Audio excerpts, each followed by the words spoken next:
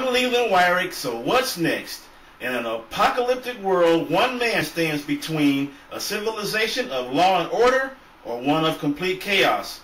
What's this all about? Let's talk about it. It's Movie Mayhem. You're going to like this.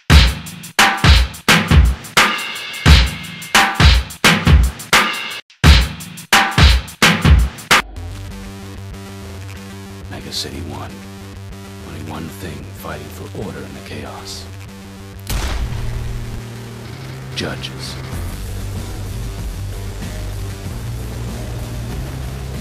Dredd is the new sci-fi action-adventure adaptation of a popular graphic novel which depicts a future society overrun by crime and the law and order force known as judges who police the streets with Judge Dredd being the most known and feared throughout the city. In case you people have forgotten,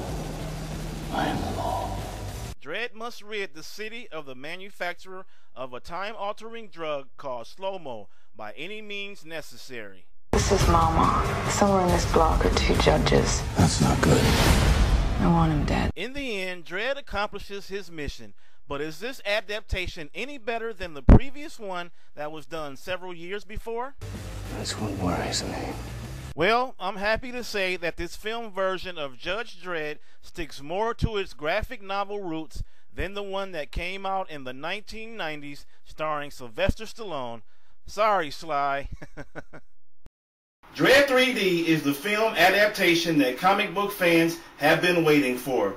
With a lethal combination of strong violence, dry humor, and impressive special effects, this is the action remake to go see.